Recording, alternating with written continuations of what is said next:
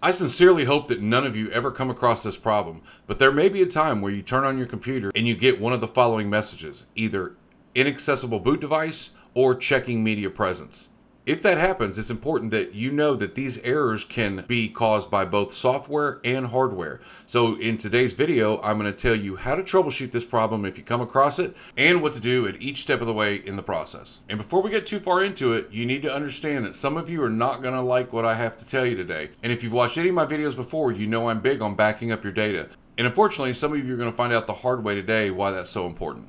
Okay, so as I said before, this problem can only be software or hardware. So what's happening when you get one of these error messages is that your system BIOS is not communicating with the hard drive in order to successfully boot Windows.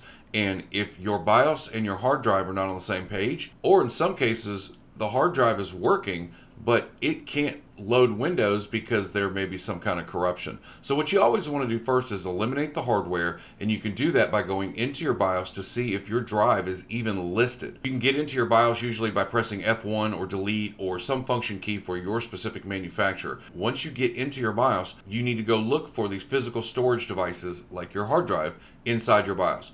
If your BIOS is not showing any kind of drive whatsoever, if it doesn't show it at all, chances are your drive is bad and it's time to replace it. I would definitely either consider hooking that drive up in a secondary machine and see if you can access it that way. If you can't and you have really important data on it, you might want to consider consulting a professional and have them try to extract the data off that drive. But if your BIOS isn't seeing the hard drive, it can only be one of several things. Either your motherboard's bad, which is pretty rare, your hard drive has gone bad, which is pretty common, or you might even just have a plug disconnected. So before you go running off spending money on having somebody try to pull data off your drive, open up your computer and let's make sure the cables are connected. Now, if you've done all that already, you've gone through the BIOS, it doesn't recognize your drive, you've tested it to make sure it's connected, chances are your hard drive is bad. The best thing you can do at this point is just put a new drive in and start over. But if your drive is connected and recognized in the BIOS, then it might just be a software problem. And a lot of times you'll see a spinning disk when Windows is trying to load and maybe it never does. That at least tells you that the hard drive is physically seen by the BIOS and Windows is trying to load. Now, it could still be a hardware problem at this point, but there are some things we can do to test the drive and see why Windows isn't loading. So the next steps in the process are going to be to figure out what's causing the problem, why Windows isn't booting, or why Windows is not recognizing your drive. In this particular case, my client's machine just sat there with the spinning circle. It never loaded the desktop and then just would eventually restart and start the whole process over. So I knew it was trying to get into Windows, but something was preventing it. Now, that could still be a hardware problem. It could be a bad sector on the disk or something like that, or it could just be a corrupted Windows. Now, in this case, and this is something I recommend everybody does, if you have a second machine that you can hook up an external drive reader, pull that drive out, put it in the drive reader, and that way you might at least still have a chance to get your data. In this case, that's exactly what I did. I didn't care about Windows, I didn't care about the PC. All I needed was the client data, and from that point on, everything would be fine. So I put the drive in the external drive reader, and thankfully was able to get his files off the drive. So one, that tells me that the drive is still somewhat functional. It could still be bad, but at least I was able to do that. Secondly, I know that the mechanics of the hard drive are probably okay. And third, most importantly, the data was safe. But if you've already got your stuff backed up, you can skip that part. But I wanted to get the files off the hard drive before I continued any further doing any kind of troubleshooting. So while I had this client's hard drive connected to the drive reader and connected to my machine, I went ahead and went to a command prompt, changed to the drive letter that his drive was in, then ran a check disk with the R switch. That's CHKDSK space forward slash R. What this basically does is it makes sure that the file structure on the hard drive is not damaged or corrupted, but the slash R also tests the physical integrity of the drive because as I said before, even though I was able to pull some files off of it, it doesn't mean that it doesn't have bad sectors or some other indicator of possible failure. So while I have the drive, I've got the files backed up, I'm running check disk to make sure that the drive is okay. Now at this point the check disk did find some errors in the file system but it did not find any physical drive errors. So at this point I know that drive is good. Now I just know it's probably something to do with the way files are written to the drive or something in Windows. But the good news is, is I don't have to replace the drive. I can put it back in the system and then start troubleshooting Windows. And even though the check disk said everything's okay, there's one more thing I want to try which is what's called System File Checker. From that same command prompt, you type sfc space forward slash scan now. And what that does is it makes sure that all the Windows system files are the correct size, correct versions for that operating system. It doesn't always fix a lot, but it's always worth doing if you have access to that drive. So we were able to see the contents of the drive. We were able to run check disk and it did find issues that it said it repaired. Now what we're going to do is put it back in the computer and see if the computer boots. So unfortunately, after putting the drive back in, Windows is doing the same thing, just the same spinning disk over and over again. So now what we're going to have to do is get into the advanced troubleshooting mode. The way you do that is just simply turn on your computer and when your manufacturer screen comes up or you start to see Windows load, power the machine off. Do that three, four, five, six times, however long it takes, and eventually you'll get a message on your screen where it allows you to go into advanced troubleshooting. Now, inside advanced troubleshooting, there are a bunch of options that we can use to try and repair Windows. What you want to do is just go ahead and click on your advanced options. And then once you're inside advanced options, click on troubleshoot. I would start with system restore first to see if there are any known restore points that you can restore from and possibly bring your computer back to life. Now, if you get prompted for a password here, it's usually because you have a Microsoft account.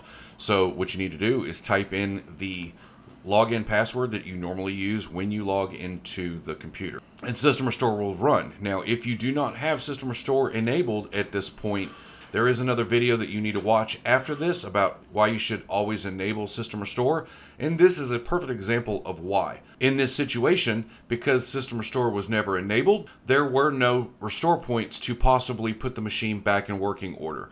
So that's important, but for the purpose of this video, we're just going to go on to the next thing. I'm going to go back to the main options, go to Troubleshoot, Advanced Options, and I'm going to try to uninstall updates. Now, I normally start with the feature updates. Those are the big mega updates, and those are usually the ones that cause the most problems. Go ahead and try that and see if it works. In this case, it didn't, so I'm going to just go ahead and close that. I'm going to go back to troubleshoot. I'm going to go back to advanced options. I'm going to go back to uninstall updates, and now I'm just going to try the latest quality updates, which are usually drivers and security updates. If any of these steps work for you, obviously restart the computer and see if everything works. If it doesn't, then just go back to the same thing by getting into the advanced troubleshooting by powering off your computer multiple times. Hopefully, eventually, one of these will fix the problem. But if not, there is a few last resorts we can try. We're going to see if the quality update uninstalls, and if so, we'll restart. If not, we'll go to the next step. Okay, in this case, it did uninstall the last quality update. So I'm going to go ahead and click close or done. And I'm going to see if Windows will now load. If it does, great, your problem's fixed. If it doesn't, then we have to go back into the troubleshooting. Anytime any of these options actually work, you definitely want to either continue into Windows or restart your computer because that may be all you have to do. In this case, it just kept doing the same thing over and over again that it was doing before with the spinning circle. So I'm going to have to go back into advanced troubleshooting and go to the next step. So we've run through all of the basic troubleshooting steps we can do in the advanced troubleshooting, including trying to uninstall updates, system restore, check disk, and the command prompt and all that, and nothing seems to work. So the next step in the process is to try to reset the PC basically what that's going to do is that's going to overwrite the existing corrupted windows and hopefully allow us to just get back up and running with no data loss. In this case, I was already able to get those files off the hard drive before, but if you're in a situation where you perhaps cannot do that, the Reset PC does give you the option to save your files. It's just going to overwrite Windows, it's going to remove any programs that did not come on the machine, but if it works, it will allow you to get back into Windows and get back up and running. Okay, so what I had to do is restart the computer multiple times until it finally brought up this automatic repair that will give me the troubleshooting options that I need in order to try to reset this computer. I want to go to advanced options and then troubleshoot and then I'm going to choose reset this PC. I'm going to choose the option keep my files if I can because that would be preferable. Now because this client has a Microsoft account on the machine, it's going to prompt me for a password. Unfortunately, this doesn't always work, but this is a good step to try before having to completely wipe and reinstall Windows. You should be able to do this without an installer disk. The installation files are stored on the local drive. So we're going to do a local reinstall and then see what happens. If everything goes as planned, Windows should be up and running in just a couple minutes. Okay, so before you actually hit reset, if you're lucky enough to get to this point, these are some things that you absolutely need to stop and read because once you do it, as it says right here, this cannot be undone. So, first of all, if you are on a laptop, you need to make sure that it is still plugged in and stays plugged in for the entire process. If you have a desktop, don't worry about it. But resetting your PC is going to change all your settings back to defaults. So if you have any special configurations, for example, if you uh, open video files in a different program that came with Windows, all of that kind of stuff is going to be set back to defaults. Now, because we chose keep our files, it is going to keep all your personal files. So basically anything that is in your documents, downloads, pictures, videos, music, none of that will be deleted. It's going to be set aside. Windows will be reinstalled and then that stuff will be put right back. So you're safe there. Now, if you haven't backed up your personal files, make sure that you choose the keep your files options. Otherwise, those will be deleted.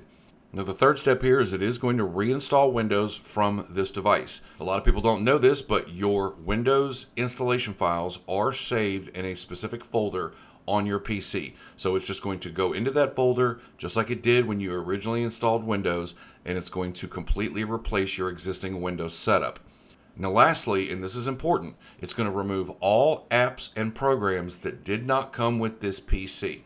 So before you hit reset, it's important that you know what that last statement means. Think of it this way. If you have a program on your PC that you no longer have the installation media for and you have no way to reinstall it, or you have a program that has data inside of it, like an Avon program or an Access database with client information in it, those programs will be removed. So be sure before you reset that everything you need to get back into Windows and do the things you normally do with the programs you normally use, you have that available. Once you reset, they're gone forever.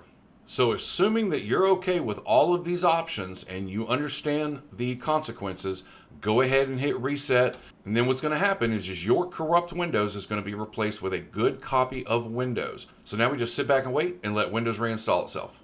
Now, sometimes you're going to come across an issue where, like in this case, it can't do a system reset. And that's usually either because Windows is so damaged it can't be repaired or the installation files are corrupted. So the reset is going to undo the changes and basically put you right back to where you were. So unfortunately, every troubleshooting method we have tried to get this Windows back up and running did not work. We have thankfully backed up all the files. We've tested the hard drive. That's good. There's something wrong with Windows. Now, at this point, your advanced troubleshooting is not going to allow you to go any further. The reset option is the last available option you have. Thankfully, I downloaded and created a Windows installer onto a flash drive. So what I'm going to do now is I'm going to put this inside the machine, boot to it. I'm going to wipe all the existing partitions and install Windows Clean to guarantee that I'll be back up and running. If you don't have one of these already, I highly recommend you get it. I'll put the link up here for you. Okay, so I have my Windows installer plugged in and I selected F12 on the Lenovo to choose a different device to boot to. Yours may be different. Um, so you just, if you're not sure which function key to use, just Google it. But I'm going to scroll down here and I'm going to go to my legacy USB drive, which is my Windows installer disk. It's going to boot to that flash drive and we're going to be able to reinstall Windows from there. All right, perfect. This is exactly what I wanted. I wanted to get the Windows installer window open. So I'm just going to click next. And then I'm going to go ahead and choose install now. Next screen that comes up is the license agreement. I'm just going to accept that and click next. And then I'm going to choose custom install. Okay, so this part is extremely important. Before you continue, each of these partitions has data on it. If you delete one of these partitions to reinstall Windows and you do not have your data backed up, your data is gone forever. So at this point, if you don't have your data backed up, you have three options. If you don't care about your data, then you can continue and don't worry about it. If you have files on your computer that you have not backed up, you either at this point want to pull that hard drive out and maybe use an external drive like this to be able to copy your files off of that drive onto a working computer. And then at that point, you now have your data safely backed up. Or if you absolutely have to and you don't have the ability to get one of these or you don't want to deal with it, then you can pay a professional to do this for you, which is what I'm doing today for my client. The general order I always follow is get the data first because that's what's most important, then check the drive to see if it needs to be replaced, and then try to figure out why we can't get back into Windows using the troubleshooting tools that I told you about. In this case, I've already got everything saved, so I'm just going to continue. I'm going to wipe the partition. I'm going to reinstall Windows clean. Unfortunately, Microsoft doesn't do a very good job of letting you know which of these partitions is which, so I'm going to kind of explain it a little bit before I continue. I know as an example, because I looked at the drive, that is a 150 gigabyte hard drive. Now that drive is going to be split into multiple partitions, system partitions, things like that as you see on the screen. This main drive right here is the bulk of that drive. That I know based on experience that the size of the drive that's closest to the total size is your primary partition. As you can see here, it's 138 gigs and about 50 gigs free, which is personal files, programs, Windows files, all that stuff. This is the main partition that has Windows on it that isn't working. I'm going to delete that partition and then continue on. Now, these other partitions here, the reserve partitions, I usually delete these too because when you go and reinstall Windows on that main partition, it's going to then create those new reserve partitions, which could potentially be part of the problem. So I'm going to safely delete those too. And there's also some un unallocated space, which I'm not worried about. And sometimes you will also see a recovery partition if you see that, I don't generally delete those, even if the recovery partition is not working for some reason. But later on down the road, if you can get the software for your computer to run that recovery partition, you might need that again. I just generally don't delete it, but I do delete the reserve partitions. So I'm going to select this one right here and I'm going to delete it. This is the main partition where all my client's data is at, but I have it backed up, so I'm going to go ahead and delete that also. Now we have the other reserve partition, but again, it's going to be recreated when Windows reinstalls. So I'm going to go ahead and delete that one also. Now, for whatever reason, I have this unallocated space here that I cannot delete. So I'm not going to worry about that right now. This is the main hard drive right here. As you can see here, it's got 139.7 gigs total and 139.7 gigs available. You can click here on new if you want to create multiple partitions. For the purposes of this video, I just want to get Windows back up and running. It's going to automatically create the partition once I hit next. So I'm going to click next. I'm going to go ahead and click OK on any pop-up messages. And now Windows is installing. So basically what we did in a nutshell is I couldn't get Windows to work any other way. I did check the drive. It's fine. So I'm not worried about replacing the drive.